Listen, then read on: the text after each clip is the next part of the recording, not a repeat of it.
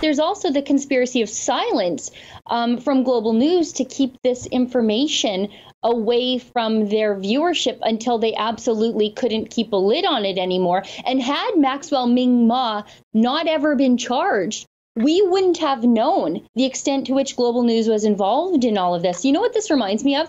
Remember when I went to Camp Cloud? I was just thinking about this when you were talking. When I went to Camp Cloud and that APTN reporter had embedded himself with the activists, clearly acting as an activist, and he came down to accost me as I walked up uh, Burnaby Mountain to the encampment. Um, he never identified himself as a journalist. He clearly didn't want me there. But it, it's this sort of uh, mainstream media overlapping. They don't want to admit, look, I'm an activist. I admit it.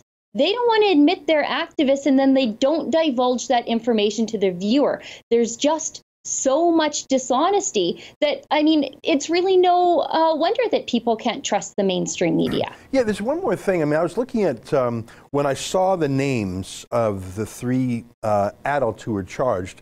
Obviously, I hopped on Google to see what uh, their social media profile was, and uh, Claire Buchanan and Kennedy Ray Herbert are.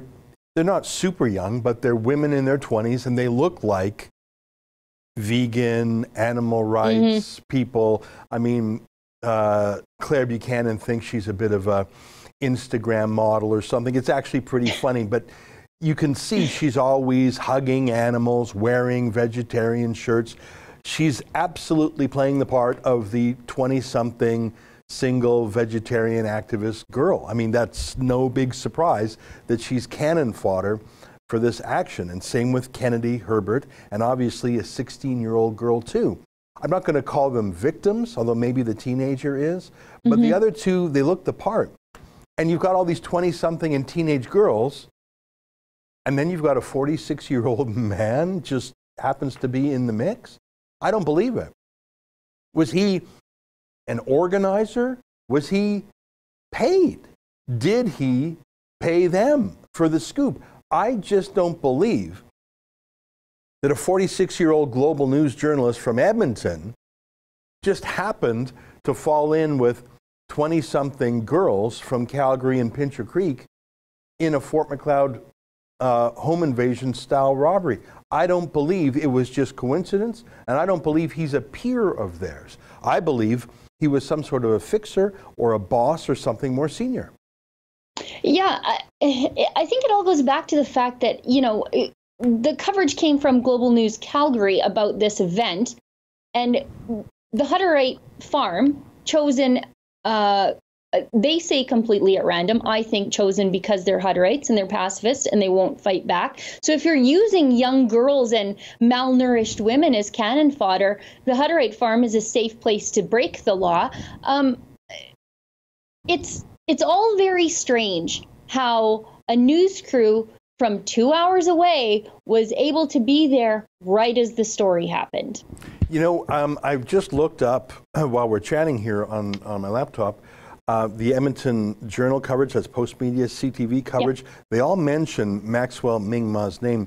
None of them mention that he's with Global. Now, maybe that's just lazy and they didn't type his name into Google, but why? This to me is a scandal of the highest order in, from a journalistic point of view. Yes, it's a crime.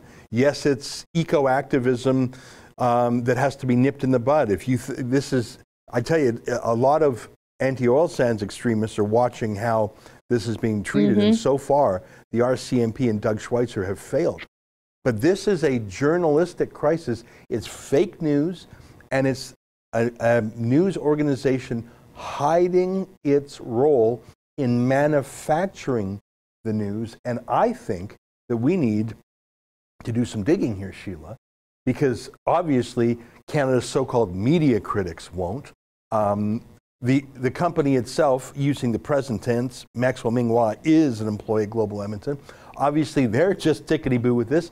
They were fine with it the day before it was released in public. In fact, they were colluding to keep it a secret. This is a deep, deep rot.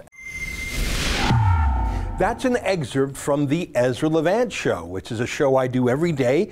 I do a monologue, interview an interesting guest, and then I read my hate mail. But you've got to subscribe to it, which you can do at premium.rebelnews.com.